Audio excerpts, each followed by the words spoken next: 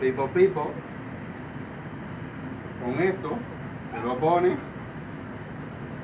y le habla como si eso fuera el ratón y luego nosotros ponemos el ratón donde está el, el bloquecito verde.